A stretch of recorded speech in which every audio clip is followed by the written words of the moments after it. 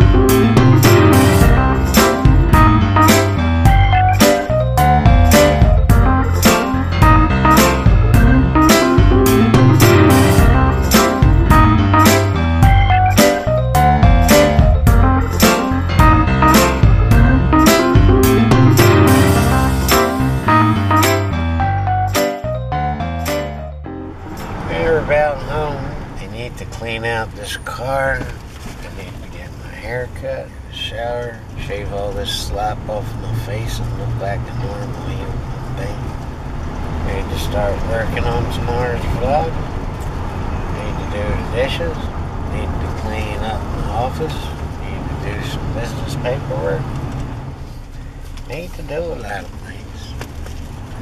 Trash man need to come today. What's up with that? Oh, must be a holiday. Trashmen celebrate Earth Day. You guys rock.